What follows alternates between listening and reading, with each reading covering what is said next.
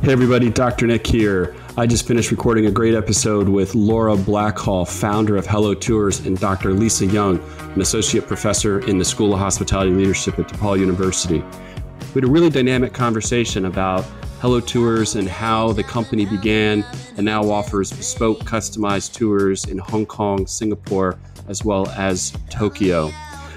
Dr. Lisa Young also provided a lot of really interesting information about the role of a study abroad and how it can enhance the learning experience, particularly for students looking to go into hospitality and tourism careers. I hope you enjoyed this great conversation.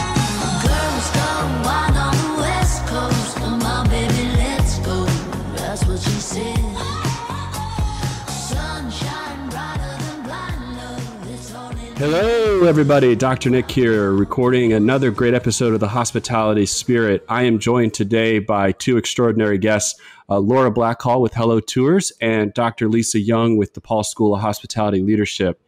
This is an exciting episode. We are once again uh, spanning the globe with our guests. Uh, a couple weeks ago, we had a guest from Singapore, and Laura, you are calling in from Japan. So we are uh, truly keeping the global nature of the hospitality spirit in full swing. So, Laura and Lisa, welcome to the hospitality spirit. Thank Thanks you for having much, us, Nick. So, Laura, why don't we uh, kind of start start with you? And and I always kind of like to start out the podcast just by giving the listener a, a, a kind of a flavor, if you will, of who who the guest is. Um, and kind of what their current role is. So maybe just a, a brief introduction about you um, and Hello Tours. Yeah, sure. So, um, once again, thank you for having me. Um, my name is Laura, and I am the founder and the CEO um, of a company called Hello Tours. And we design and deliver culturally immersive tours, which are predominantly based around history, culture, and my favourite topic, food. And we do that in Hong Kong, Singapore, and more recently in Japan, which is where I'm currently based. So at the minute, we're covering uh, Tokyo and Yokohama with plans to expand down into Osaka and Kyoto over the next year or so. That's great. So you and this is a, a company again that you mentioned that you founded. Um, what was and we've had entrepreneurs on the podcast before, and I'm really interested to hear kind of the spark that took you from the corporate world into this this leap of faith, if you will, to become an entrepreneur. What what was it that flipped that switch for you? Yeah, and actually, that's a really good word, leap of faith, because that's exactly what it is. Um, and it is absolutely terrifying, or at least it was for me when I finally worked up the courage to make that jump. Um, and it was quite difficult. Um, so I was working for a large multinational company, and they'd relocated me from London to Hong Kong. Um, this company was based in the recruitment and headhunting sector, and I was responsible for their strategy and operations across Asia Pac. And um, I had a great job. Um, I had a good, you know, corporate package. I had a really nice salary. I worked with some great people but something just wasn't quite right. And I just felt this. I just had this feeling that I was supposed to be doing something else and it was supposed to be something on my own and not within, you know, a big corporate structure. And um, after a lot of umming and ahhing and heartache, and I went to see a, a life coach to find out why I wanted to leave and couldn't and what my block was. I finally uh, worked up the courage to have my notice in. And at that point, honestly, I had absolutely no idea what I was going to do. There was there was no magical idea that I was ready to start. It was just a belief that I was supposed to do something on my own. How how much of that? I mean, uh, you've been an expat. Uh, Lisa's been an expat. I've been an expat. Do you think you that still would have happened had you not been an expat? Kind of, we we use sometimes the phrase "stranger in a strange land" um, to describe what it's like when we do study abroad. Do, do you think you still would have had that same same leap of faith if you hadn't been an expat living in Hong Kong? So I often say that there's something in the water in Hong Kong that makes you think that you can do absolutely anything in the world. Um, and I'd been drinking a lot of that water at that point. So um, I definitely think Hong Kong has got something to do with it because it is it is a city that's just full of fire and it really Hong Kong people are themselves very entrepreneurial um, and people do just go out and hustle there. So I would say there was definitely an element of that. And I'd certainly seen other expats had left their corporate jobs and started up small businesses. And when you see people around you doing that, that's also inspiring. But at the same time, I'd always wanted to work for myself since I was a child. So it was always in me. And I'd always had a little hustle on the go somewhere as I was growing up. So it, I think it was probably the coming together of both things at the right time, at a time in my life where I realized that, and this is what the, um, the, the life coach helped me to see that, you know, what's the worst that can happen if you try it and it doesn't work out? You know, I had some savings in the bank. I wasn't going to starve. I was still going to be able to pay my rent. So for me, it was a combination of everything coming together at the same time.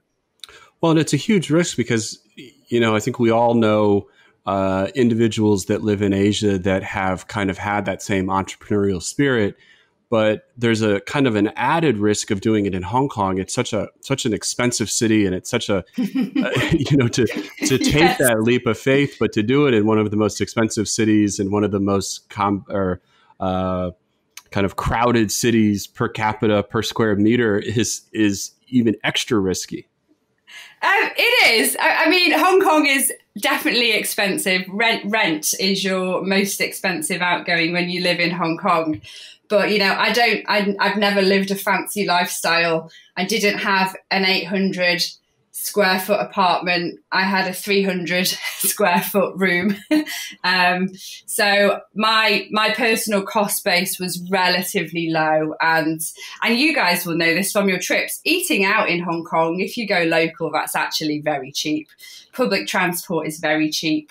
Um, so really it's your rent that's expensive. And I was perfectly happy to live in a shoebox. Well, and in fact, at one point, didn't you live aboard one of the boats that you were chartering, or? I did buy a boat, yes. I went through my midlife crisis slightly earlier than most, and I decided to buy a 55 foot yacht and live on it. Well, it's interesting because when uh, when Lisa designed the Asia study abroad that we do uh, in the School of Hospitality Leadership, we uh, you know, Hong Kong and Singapore, which we can talk about in a minute, but Hong Kong was really one of the places, Lisa, that you wanted the students to experience because it was a nice introduction into Asia. We use kind of the Asia 101 example. And so was was that kind of the reason you chose Hong Kong and, and how did you get connected with Laura? Well, I had noticed that the students were much more engaged in the study abroad experience when they were not on a motor coach. So when we were touring Hong Kong the first year that we took the students there, the company that we used drove around on a motor coach and we went different places. But the whole time the students were on their phones and they weren't really paying attention to the sites. And I'm a huge fan of the Anthony Bourdain shows. And I thought, why don't we do it like what he does. And so I did a lot of research on the internet and then sent emails to several different companies that did something similar to like a food tour. And Laura was the one that I had the best rapport with, and she was the one that was most willing to work with me to create a typical food tour of Hong Kong and create it to be more like a learning experience for the students and the fact that we would not take motor coaches. So we would walk everywhere. So the students would be engaged. They would learn how to navigate the tiny streets of Hong Kong and be able to look in shopkeepers' houses and homes and shops and see what they were doing and that's what her tour does. So you're she's explaining the whole way. Laura or her tour guides are explaining every step of the way what's going on so the students are immersed in it. And i could tell a big difference between when the students were immersed in a city versus when they had just been driven around on a bus. And then the, and then the other aspect was is that the first year that the study abroad was in Hong Kong the students wanted to eat at Starbucks and a typical coffee is like 20 US dollars and McDonald's. And I thought why are we going to Hong Kong to do this? So that that's and I was sad that nobody was willing to try the local food. So I said the first thing we're doing when we get to Hong Kong that first morning when we wake up is we're getting up and we're going to go eat dim sum. And so again, Laura was happy to customize a tour, and luckily she already had tours, and we just customized it so that it would be an amazing experience for the students. So Laura, that's this what I really like about, and I've been on a couple of your tours that it's kind of that bespoke nature of it that you can really customize the the tour um, to, to the individual client's needs. When on on average, though, do you do you find that most clients want a a turnkey tour that you provide, or do most of them really want a bespoke experience based on what their individual needs are? So um, we have a small selection of tours, and one of those tours we actually call it the private customized tour. Um, and that is our most popular best selling tour. So, yeah, I would say most people will go for that. And I definitely think that that is a growing trend in the travel and tourism industry. Um, in fact, across a lot of industries, people now expect to have uh, a much higher degree of customization. Um, because if you're going to travel to the other side of the world, and most of our customer base is American, uh, you're going to sit on a long haul flight, you're going to arrive in a new city with jet lag, then you want to make sure that you get the most out of that short time that you have. And you want to make sure that you are seeing and experiencing the types of things that interest you the most. And that is exactly what a customized tour allows you to do. It's entirely based around you and your interests and the amount of time that you've got available. So I would say it is the most efficient um, way to see a new city. How do you? So we, I think we can all say that when we've traveled abroad, we've we've dined at places or seen things that we will just kind of chalk up to an error and not go back. I mean, how do? But the places that you choose are really they're authentic they're friendly to visitors they're always so welcoming how do you ensure quality control of the places that that you that you choose that time in and time again they're going to be a really great experience for the, the traveler? Um i the majority of places that we take people to are small small um, family owned businesses shops restaurants eateries. So I always say that our tours, and it's a bit of a tagline that we've got, we say that they're culturally immersive and they are designed for people, by people, and around people. Um, and the around people part is really important here because we want to take people to a location and tell them a story about the people themselves. And if you take people to a small family owned restaurant, they are going to be so proud of that restaurant because that is their family heritage. So you you almost don't have to do the quality control. They do it for themselves. You know, myself as a small business owner, I would be absolutely devastated if my quality control was to slip. I just wouldn't let it happen. And for small restaurants, I think it's exactly the same. Interesting. And Lisa, you've you've really commented it's not just the quality control of the physical places that you guys would visit, but it's also the quality of the tour guide really is a part of that experience. What, what's your experience been like with the the different tour guides every year, whether it's in Singapore, whether it's in Hong Kong, with the Hello Tour guides? They're so much a part of that destination, and they integrate with the students, and it's almost like they become a part of our local experience, whether it's Hong Kong or Singapore and they get to know the students. They know their names. They they know some of the the quirks, or you know, we, uh, there's usually someone that has some kind of a food allergy. So they understand kind of the logistics of it, but the fact that they're truly friendly and kind of goes back to what Laura was saying, this is what they love doing. And so they want to make sure somebody is having an amazing time in their city that they love so much. Um, and just the fact that they're willing to, to do things on the fly. So one year I said to Laura, I said, I there's a Harvard Business Review case study on Happy Valley Racetrack let's go to Happy Valley Racetrack um, and have the students experience that because that is a hospitality and tourism thing. And then I said, but then I've also seen the um, the episode of um, Anthony Bourdain on where he does that. But let's flip it. Let's go eat first, and let's eat at the same place that he did. And then let's go to Happy Valley Racetrack and have the students experience that. And then they get involved in the case study because they're actually there. And so even though they hadn't done that before as a tour, we did it and it was flawless. And Laura was able to get the owner of the restaurant to come out and talk to the students. This is the same one that was talking with Anthony Bourdain. And it was just a real hands on experience. And the students were eating things such as pasta with squid ink and so their teeth were black and all kinds of funny different fishes and different tastes but they'd already been earlier the day before on a dim sum tour and been tasting other dishes so they were willing to try anything at that point and they were loving it and then of course we went to the races but it was great because everybody that, that we had that were the tour guides it was laura and another gentleman we we just had a lot of fun, even though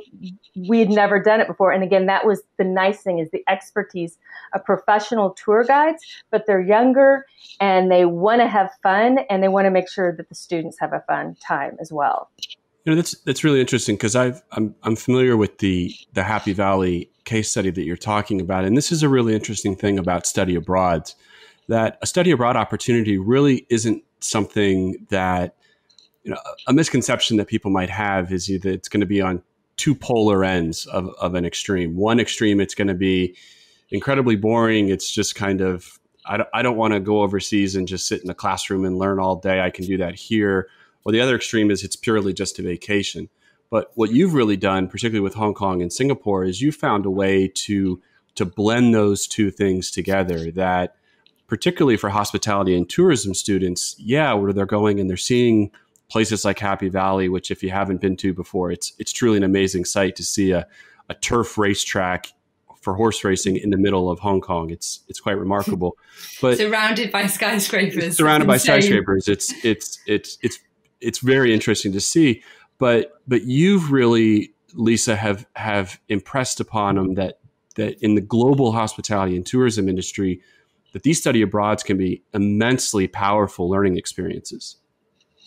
Yes, because I want them to see that when they go work for a company, and we've had many account, you know, accounting students, finance students um, that have taken our study abroads, and to be able to show them and say, you could go work for a major accounting firm, and one day they're going to ask to promote you and promote you to the Hong Kong office or the Singapore office, and what would that experience be like? Well, now you've been here for a week or two, and you can see you could easily integrate into this lifestyle. Again, going back to Happy Valley Racetrack, you could see that you could show up there, and yes, we're in Hong Kong, so the majority of the people um, are Chinese, of Chinese descent, but um, there are so many expats. So there's people from England, there's people from Scotland, Australia. So you hear all these different um, English accents, and you could say, yeah, I, I could. I could see myself integrating here. And then we do the same thing in Singapore. The fact that people go, yeah, if I got a promotion, if I went to go work for a major hotel company, I could go transfer it if they decide they want to open up a new hotel in Singapore. It, it's something that I could see myself doing. I, I know what the food is like. I know what the people are like. I know that I a large percentage of the people in Hong Kong speak English, and almost everyone does in Singapore. And yes, so this is upward mobility that a lot of people that are afraid to even leave their their hometown that they're not going to have that kind of opportunity. Interesting. Laura, how do you so on this idea of tour guide and then I kind of maybe want to pivot a little bit to the expansion to Singapore and Tokyo, but I mm-hmm. maybe want to focus on the tour guide a little bit more. What what mechanisms do you do you look do you have in place and I'm kind of putting my training and development and my recruitment hat on here for a moment. I mean, how do you how do you go out and find someone and train them to almost deliver that intangible service to to the customers. I mean, people when we look at your social media, we see a lot of people are taking pictures with their tour guide because they've uh, they've formed yes. this instantaneous bond and relationship with them, and it's it's almost this seamless transition to ten minutes ago I didn't know you, and now I've met you at the Starbucks in Wan Chai for the start the start of the tour, and we're best friends. I mean, how do you how do you do that? How do you find these people and, and bring them up to the expectation of service that you expect? Yeah, and that, that whole thing about friendship, that's so, so important to us at Hello Tours. You know, I always say to our team, you know, you are their tour guide, but by the end of the tour, we want them to feel like they now have a new best friend in that city. And it's people that make experiences memorable. Um, and I say, you know, those customers, we call them our guests, when they get back home to their home city, they're, they're not going to remember how old a particular building is or, um, you know, you know, a, a historical fact about something. What they will remember for the rest of their life is how you made them feel during those few hours that you spent with them.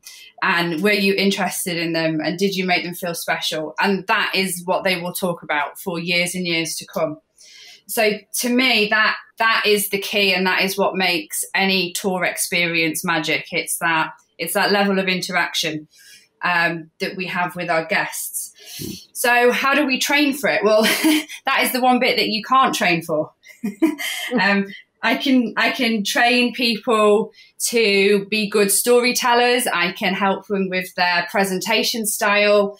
Um, pretty much anyone can remember information, but it's it's the other aspects which are more important to me when I look for people. So I look for people that are kind, like really kind natured.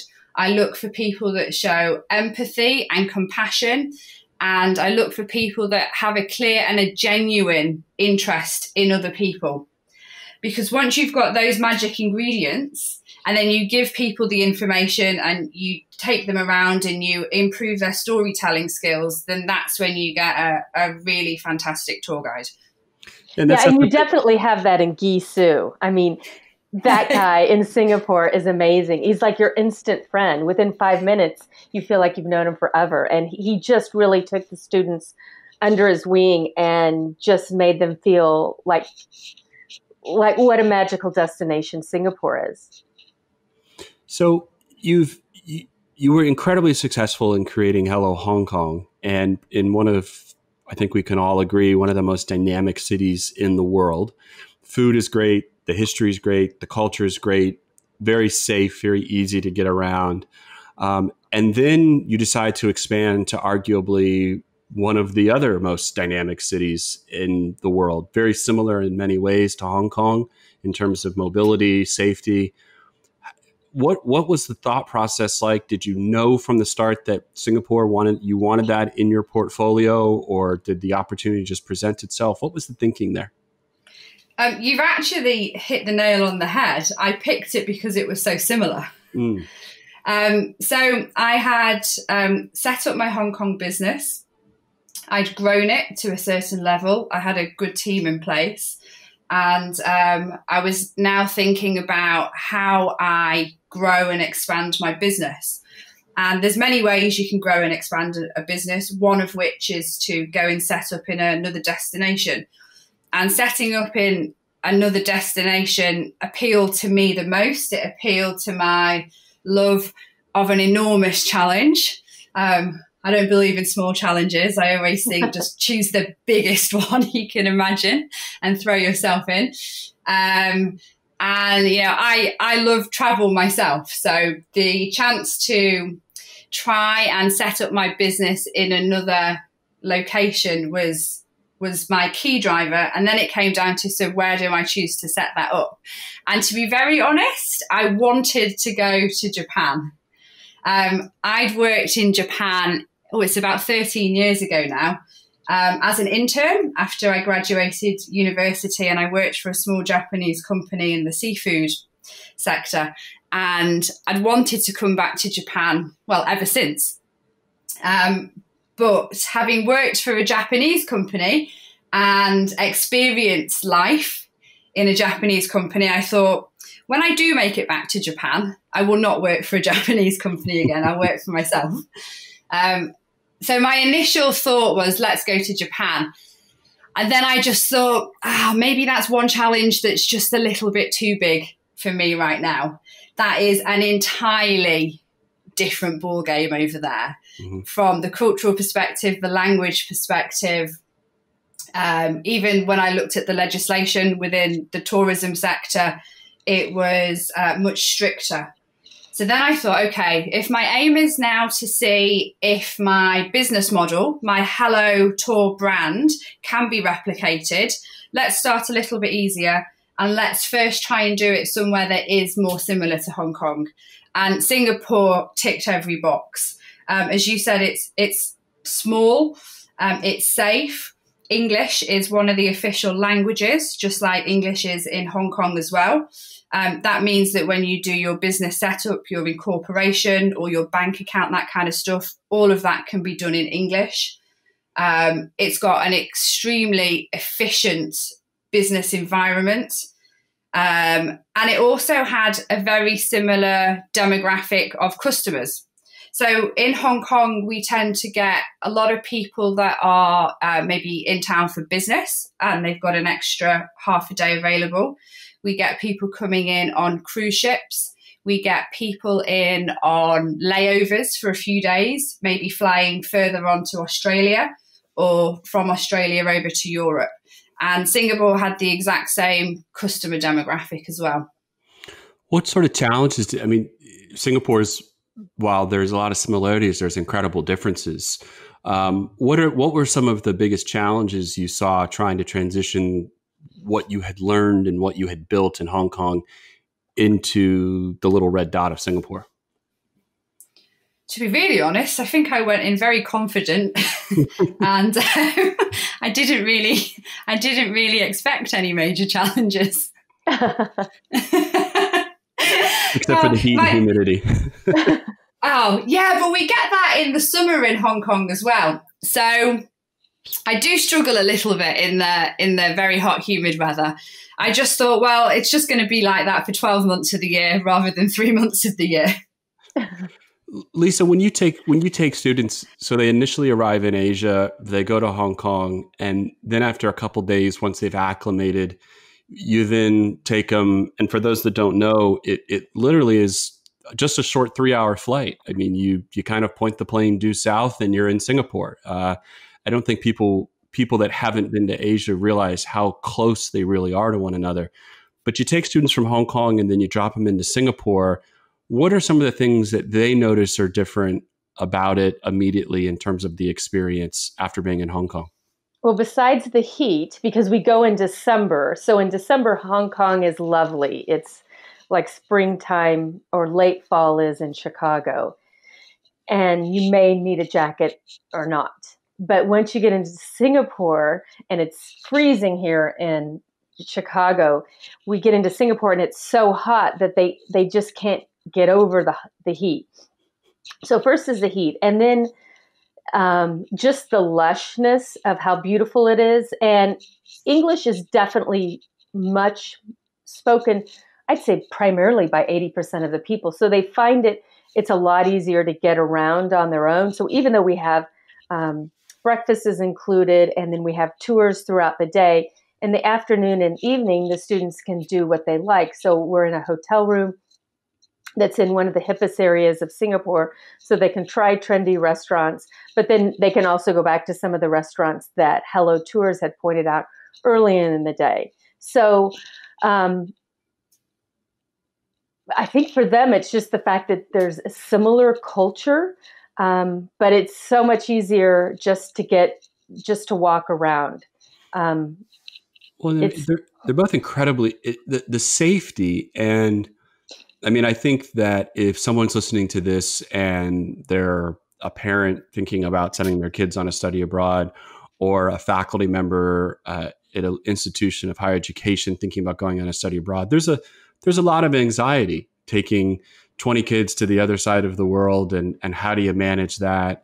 And what's remarkable about both Hong Kong and Singapore is that, and you've expressed this, Lisa, that there's just a sense of of confidence that the, while yes, kids will be kids and students will be students and teenagers will be teenagers, but there's a certain level of safety um, in these both these destinations.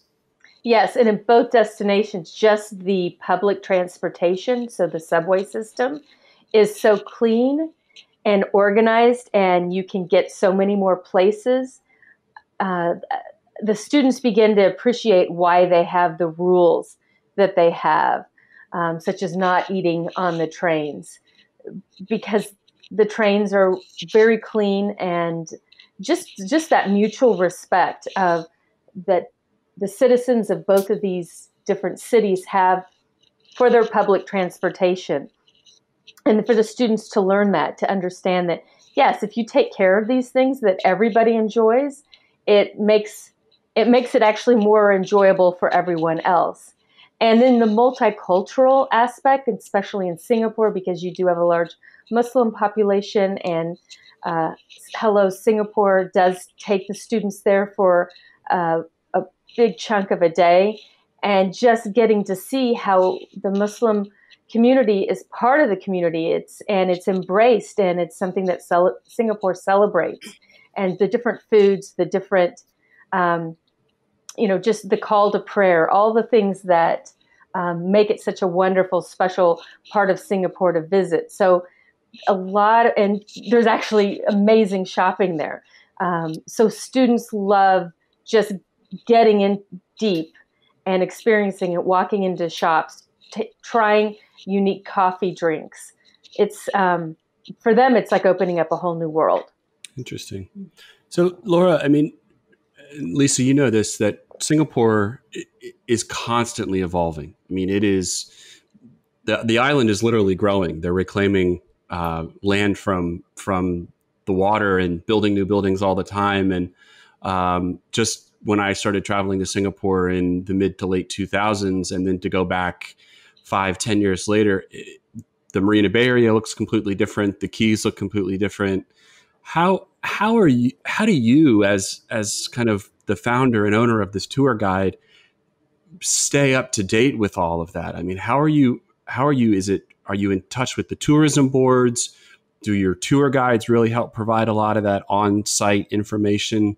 How do you constantly refresh these tours? Yeah, it's a combination of all of those factors. and I think when you choose to work within the tourism industry, particularly in the way that I've chosen to, you just have an innate interest in learning about the world and how it develops. And we put a huge amount of focus into our tours on, you know, local life and the journey and progression of a city through its history, through to present day. So you will just naturally be keeping up to date with things like that. Um, you know, one of your favorite restaurants unfortunately closes. Of course, you hear about it. You hear about it before it happens. Um, something is in the pipeline and is starting. You, you hear about these things. You, you just, I don't know, you just keep up to date with things. Are you a, are you an easy person to travel with, or are you a difficult traveler because you're you're kind of so critical, or are you? Because this is this no. is a question that we get asked all the time. Are are you you teach hospitality. Are you a difficult or a really easy guest to get along with? um, I would say I'm an easy person to travel with um, if I'm traveling with you. Um, I love traveling. I'll just enjoy it. I'll just have a massive smile on my face the whole time. And I like to do a little bit of research so we've got an idea of what we're doing but I also I like the adventure and I like things to just happen and open up. So I don't over plan, which I've heard certain people on this podcast might do, Nick. what uh, what so what I what I'm really intrigued about, and since I've been um, since I went on my first Hello tour, you've now kind of contrary to well, kind of going back to your original plan, you've now planted a stake in Japan. And yeah, so, so finally made it back again. finally made it back to Japan. And you've chosen two really interesting cities and and um, relatively close in proximity, assuming you're going 300 kilometers an hour on a bullet train. Um, but you've chosen two really dynamic and unique cities. What? So talk a little bit about the process to to make your way back to Japan and and expand the portfolio to now three different countries? So I was getting very comfortable in Singapore. As you guys have just explained, it's so safe. The shopping's brilliant. The food is amazing. Um, it's a really progressive city. Uh, it is beautiful. It is beautifully designed. It's there's gardens everywhere. Um, you know, there's always something going on in Singapore. There's either a free music concert in the Botanic Gardens or there's a beer festival. Something's happening, and I loved living in Singapore way more than I ever expected. And I just thought, if I don't leave really soon, I'm never going to leave. I'm going to be here in 30 years' time. Mm-hmm. so that is why I left Singapore, I would say relatively quickly after arriving. I was there for just less than two years. Um, and the plan and the dream had always been to get back to Japan at some point on my own steam. And I was in that position at that point where I could do that. I'd proven that my business model and my concept and, you know, the, the way I design my tours, it works in more than one place. So I thought, okay, now it's time to go and do Japan. And Japan has been um, significantly uh, more challenging compared to Hong Kong and Singapore. Um, everything has taken much longer from you know the process of incorporating a company.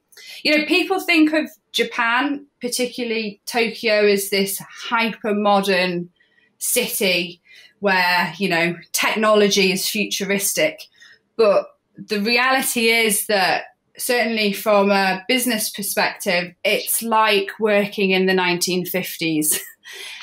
Everything wow. is still done on a fax machine. Wow. Did you know they even still produce fax machines? it, like, that, it's in. Go on, Nick. I'm, I'm curious. Is that um, because when I think of Japan, I think of a very um, homogenous society. Um, is that difficult because you're was it difficult because you were an expat coming into that environment or is that just how it is in general to a staff for anybody that's an entrepreneur whether you're japanese or whether you're an expat coming in? Yeah it's difficult for anyone and everyone. So even japanese people will you know have challenges with the systems here.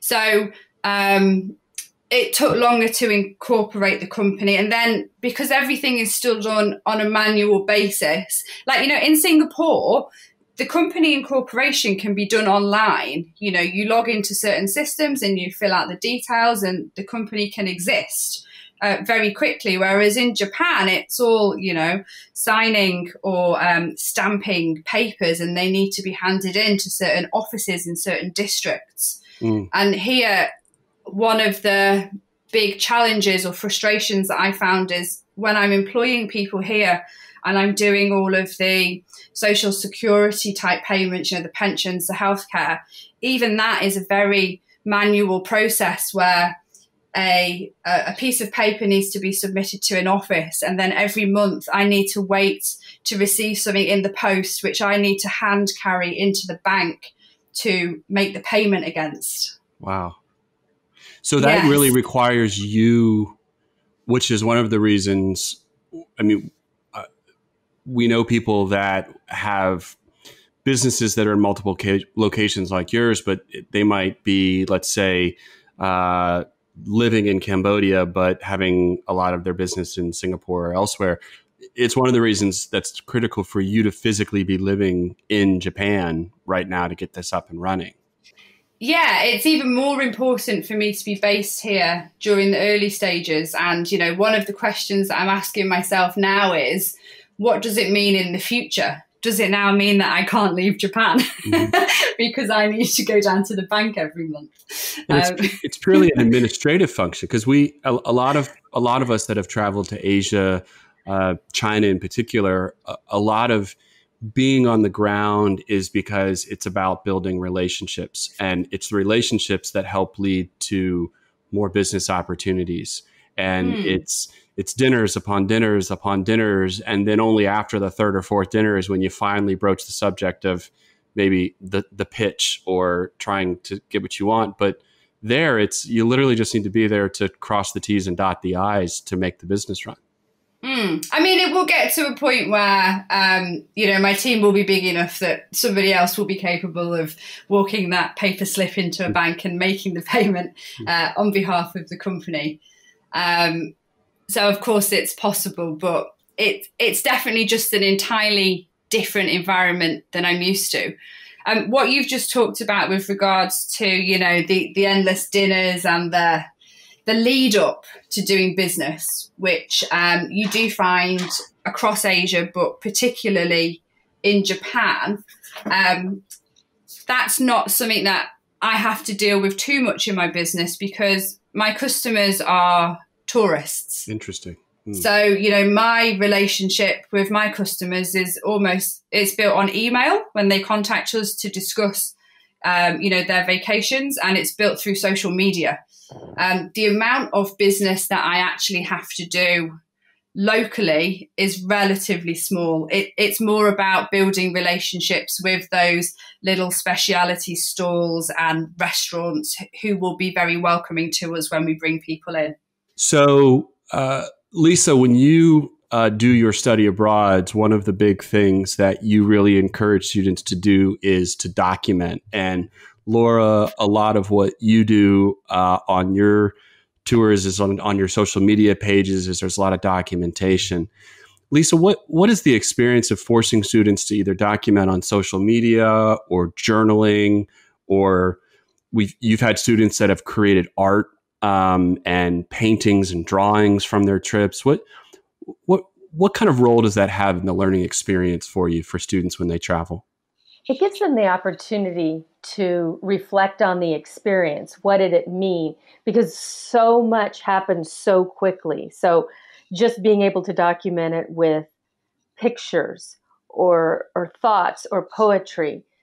Um, but it really, for the most part, start, starts with the picture taking, and then when they go back to their hotel room, making the time to reflect whether it's in their daily blog or it's um, their drawing. We even had one uh, young woman who did coloring pages. So she took a lot of her uh, photos and turned them into coloring pages and then into a coloring book. So it's really about what's important to them, what's fun for them.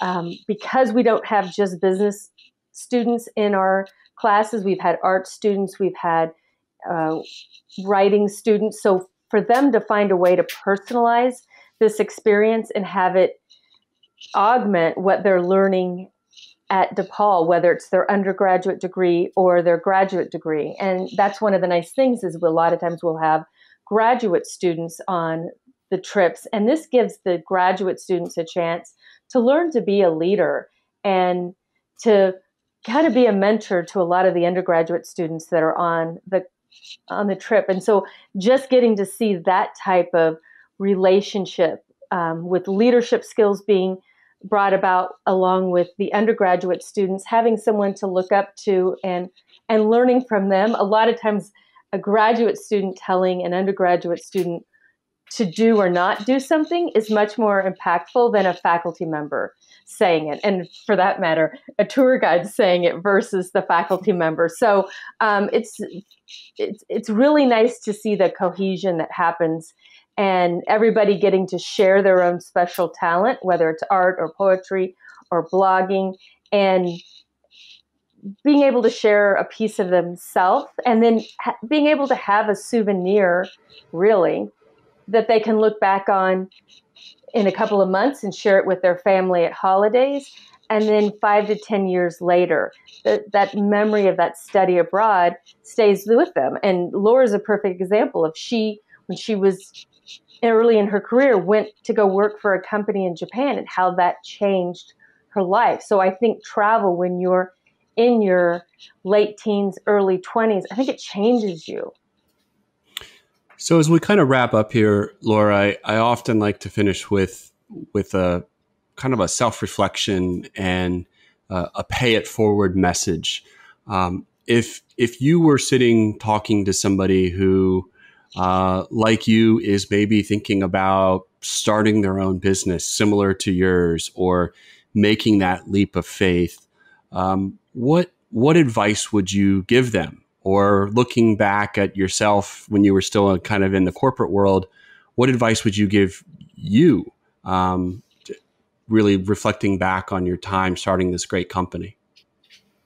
Um, I would say if you're if you're thinking about starting up your own business, you will meet so many people that will tell you that you can't do it, and they'll always give you a reason why. And, you know, this list of reasons can be enormous.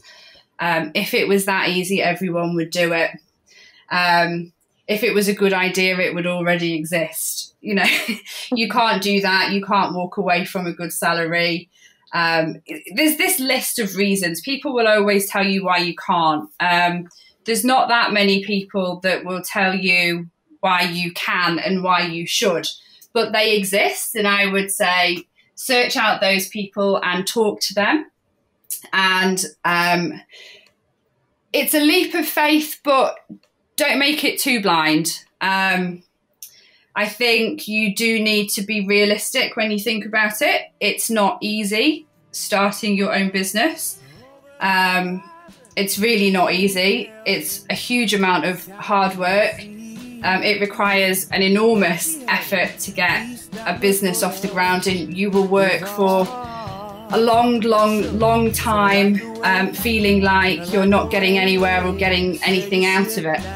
Um, so be prepared for that because that's that's normal and that's the reality of starting a business.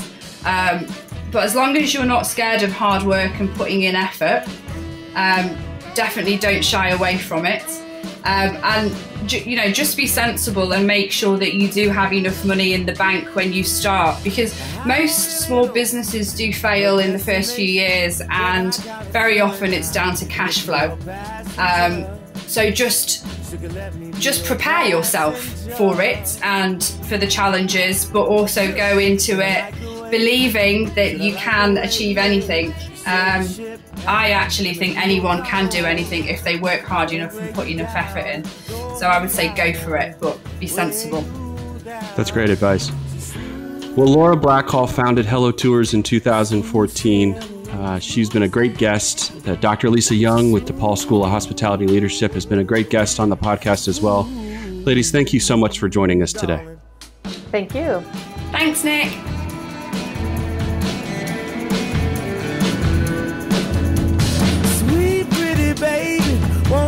my lady. Uh huh.